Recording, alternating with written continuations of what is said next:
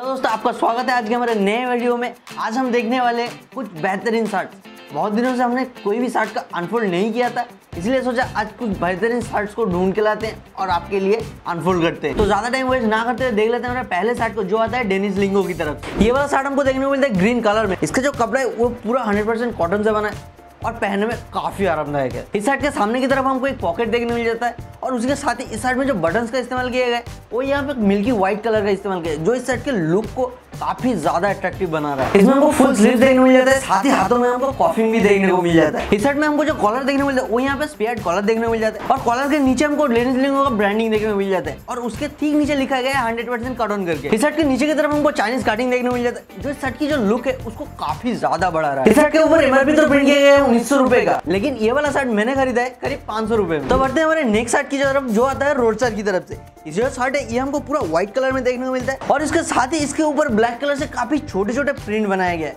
जो दिखने में इस शर्ट को काफ़ी तगड़ा एक लुक प्रोवाइड कर रहा है। इस शर्ट में जो बटन्स का इस्तेमाल किया गया, वो यहाँ पे पूरा व्हाइट कलर का इस्तेमाल किया गया और उसके साथ ही उसके ऊपर रोस्टर का ब्रांडिंग भी किया गया जो इस शर्ट की लुक को भी काफ़ी ज़्यादा अच्छा बना रहा है। शर्ट में हमको फुल स्लीव देखने मिल जाता है और साथ ही इसका जो कॉलर है, वो यहाँ पे स्पेयर कॉलर देखने मिल जाता है। कॉलर के ठीक नीचे की तरफ़ हमको रोस्टर का एक पैच देखने को मिल जाता है। इस में जो मटेरियल की क्वालिटी है, वो यहाँ पे पूरा कॉटन देखने को मिल जाता है। और साथ ही इसका जो क्वालिटी है कॉटन का, वो भी यहाँ पे काफ़ी ज़्यादा अच्छा है। इस शर्ट के नीचे की तरफ़ हमको चाइनीज़ कटिंग देखने को मिल जाता है। जिसकी वजह से इस शर्ट की जो लुक है, वो काफ़ी ज़्यादा इंक्रीज हो रहा है। साथ ही इस शर्ट के नीचे की तरफ़ लेफ़्ट वाले कॉर्नर पे हमको रोड रोडस्टर का एक लेदर पैच के थ्रू ब्रांडिंग देखने को मिल जाता है। शर्ट के स्ट्रीप के नीचे की तरफ़ भी एक रोडस्टर का ब्रांडिंग देखने को मिल जाता है। इस शर्ट के ऊपर हमको कोई भी पॉकेट देखने को नहीं मिलता। ये तो मुझे पर्सनली काफ़ी अच्छा लगता है। इस शर्ट में हमको जो फुल स्लीव देखने को मिलता है। उसके सामने की तरफ़ हमको जो कफिंग देखने को मिलता है, उसकी क्वालिटी यहाँ पे काफ़ी ज़्यादा अच्छी है। और इस साइड में हाथों के यहाँ पे एक बटन दिए गए जिसको आप स्लिप्स को फोल्ड करने के लिए यूज़ कर सकते हैं। इस साइड के ऊपर एमआरपी तो प्रिंट किया गया वन फोर डबल नाइन का। लेकिन ये वाला साइड मैंने करीब साढ़े पाँच सौ रुपए के आसपास खरीदा बट मैंने नेक्स्ट शर्ट की तरफ़ जो आता है रॉन्ग की तरफ़ से।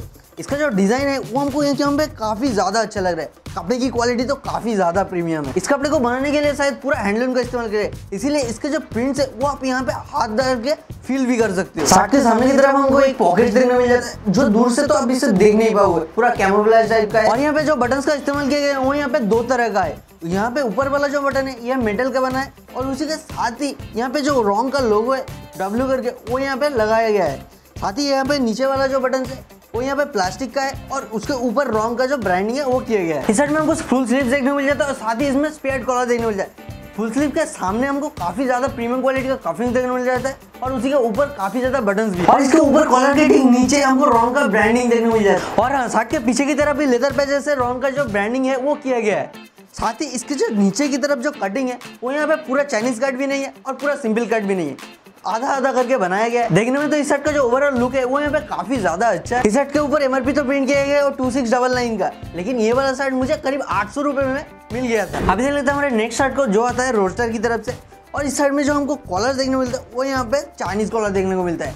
साथ ही शर्ट के जो मटेरियल की क्वालिटी है, वो यहाँ पे पूरा कॉटन से बनाया गया है। अगर तुम शर्ट को टच करोगे तो तुमको सच में फील होगा कि ये शर्ट कितना मुलायम इस वाले शर्ट में जो चेक हमको देखने को मिलता है, वो यहाँ पे छोटे छोटे चेक देखने को मिलता है व्हाइट ब्लैक और ग्रे कलर का, जो दिखने में तो काफ़ी अट्रैक्टिव लग रहा है। अगर इस साइड में तुम पॉकेट ढूँढने निकलोगे तो यहाँ पे कोई भी पॉकेट हमको नहीं मिलेगा, क्योंकि इस साइड में पॉकेट कोई है ही नहीं। इस साइड में तो हमको चाइनीज़ कॉलर देखने को मिलता है, लेकिन उसके नीचे की तरफ़ हमको रोजर का ब्रांडिंग देखने को मिलता है। और साथ ही एक हुक करके दिया गया है, जिससे तुम इस शर्ट को टांग भी सकते हो। ये शर्ट भी पूरा फुल स्लीव है और इसके स्लीव्स के सामने की तरफ़ जो कफिंग इस्तेमाल किया गया है, वो यहाँ पे काफ़ी ज़्यादा प्रीमियम क्वालिटी का है। और कफिंग के ऊपर जो बटन का इस्तेमाल किया गया है वो भी काफ़ी ज़्यादा प्रीमियम क्वालिटी का है, लेकिन प्लास्टिक से और बटन का कलर जो यहाँ पे हमको देखने को मिलता है, वो यहाँ पे ब्लैक देखने को मिलता है, और शर्ट के नीचे की तरफ़ हमको चाइनीज़ कटिंग देखने को मिल जाता है, जो इस शर्ट को एक काफ़ी ज़्यादा अट्रैक्टिव लुक प्रोवाइड करता है। शर्ट के नीचे की तरफ़ लेफ़्ट कॉर्नर पे हमको रोस्टर का ब्रांडिंग देखने को मिल जाता है, एक लेदर पैच के ऊपर, और शर्ट के स्ट्रिप के नीचे की तरफ़ हमको एक फैब्रिक से बना हुआ ब्रांडिंग देखने को मिल जाता है। इस शर्ट के ऊपर प्रिंट तो बहुत किया गया था वन फोर डबल लाइन का,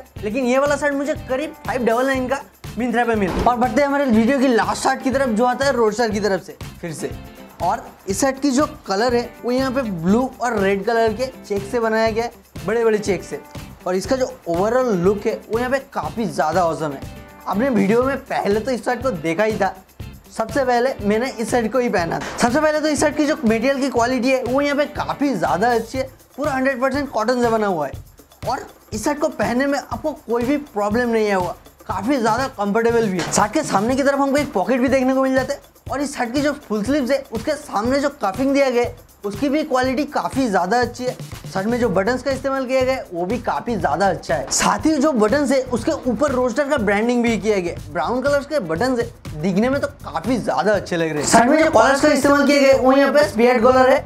और उसके नीचे की तरफ़ रोस्टर का ब्रांडिंग किया गया। इस शर्ट के नीचे की तरफ़ हमको चाइनीज़ कटिंग देखने को मिलता है, जो शर्ट की लुक को काफ़ी ज़्यादा अट्रैक्टिव बना रहा है। साथ ही इसके लेफ़्ट साइड कॉर्नर पे हमको एक रोस्टर का ब्रांडिंग देखने को मिल जाता है ऑब्वियसली लेदर पैच के ऊपर। और इस स्ट्रिप के नीचे की तरफ़ भी रोस्टर का ब्रांडिंग किया गया है। इस शर्ट के ऊपर जो एमआरपी प्रिंट किया गया, वो है वन एट डबल नाइन का। लेकिन ये वाला शर्ट मुझे करीब साढ़े छह सौ रुपए के अंदर मिंत्रा पे मिल गया। अगर ये वीडियो आपको पसंद आए तो वीडियो को लाइक कर दीजिए और अपने दोस्तों के साथ शेयर कर दीजिए। और आगे ऐसे ही फ़ैशन रिलेटेड वीडियोस को देखने के लिए, हमारे चैनल को सब्सक्राइब करना मत भूलना। और अगर हमने पैंट की पिछली कार्गो पैंट की वीडियो को नहीं देखा है तो वो आप यहाँ पे देख सकते